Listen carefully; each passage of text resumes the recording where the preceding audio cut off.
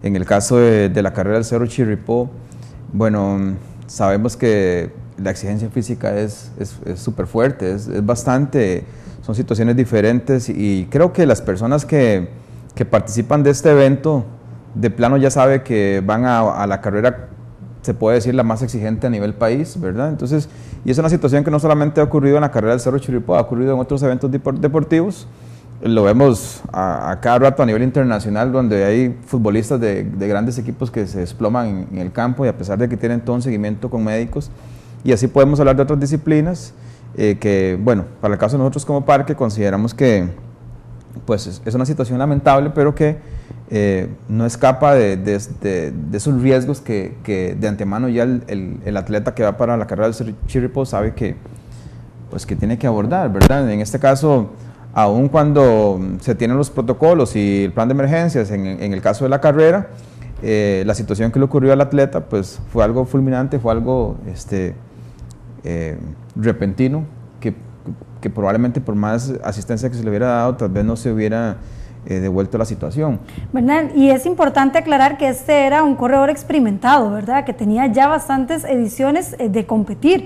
No era la primera oportunidad que él hacía la carrera. Sí, correcto. En los registros de, de, la organización de la carrera del Cerro Chirripó aparece este, aparecía este atleta eh, en 11 oportunidades. O sea, era una persona que conocía ya lo que era correr al Cerro Chirripó.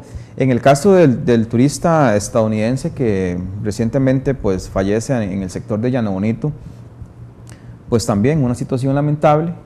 Eh, y creo que en este sentido el parque recibe alrededor de 8 mil personas al año y en los últimos años, bueno, por lo menos desde que yo estoy en los últimos seis años, pues es la primera vez que ocurre esta situación con un turista eh, de paso ilegal, ¿verdad? Que es importante indicar que pues el turismo ilegal es un problema que afecta seriamente a Chirripó y generalmente es el turismo ilegal el que nos genera las principales emergencias.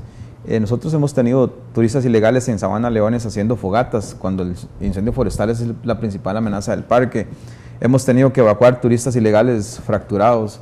Hemos tenido que desplazar brigadas de búsqueda y rescate a, sacar turistas ilegales que están en sectores del parque que no conocían, pero como van ilegales, entonces van por rutas que no son las usuales para el turista ordinario y entonces nos generan estas emergencias. Don Menal, es importante explicarle a las personas que nos están viendo qué es exactamente un turista ilegal.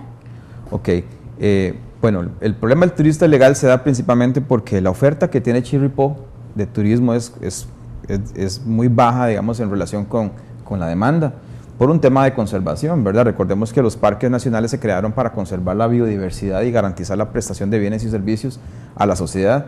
El turismo es una oportunidad que nos permite la ley de que las personas puedan aprovechar aquellas áreas protegidas que tienen las características para, para desarrollarlo. En ese sentido, el turista ilegal es aquel que ingresa al parque sin derechos de admisión y al no tener sus derechos de admisión, no están, no en nuestras bases de datos, no están los registros, nosotros desconocemos que esa persona está dentro del parque y por lo tanto no tenemos ningún control ni, ni, ninguna información acerca de esta persona que nos permita eventualmente abordarla. Uno de los puntos a los cuales le hacía referencia y precisamente comentábamos antes de la entrevista, don Bernal, es que ocho funcionarios no tienen la capacidad para atender toda el área protegida. Eh, mencionábamos que, bueno, el área de administración del parque se encuentra a varios kilómetros antes de la entrada principal al área protegida y esto implicaría que un funcionario tendría que estar permanentemente en la entrada, en el sendero al Parque Nacional Chirripó. Sí, correcto. De los ocho funcionarios, dos son administrativos, ¿verdad? Mi persona y la persona encargada de reservaciones. Y los demás funcionarios, pues no solamente atendemos un tema de turismo ilegal, también tenemos que ver otros programas de manejo del parque como educación ambiental, gestión comunitaria, control y protección, investigaciones, voluntariado solamente para mencionar algunos programas de, manejo del parque que están activos. Y entonces en realidad el personal se vuelve suficiente, además de que el personal tiene sus vacaciones, tiene sus días libres, algunos se incapacitan, y todas estas son variables que hay que, manejar a la hora de, de trabajar el parque.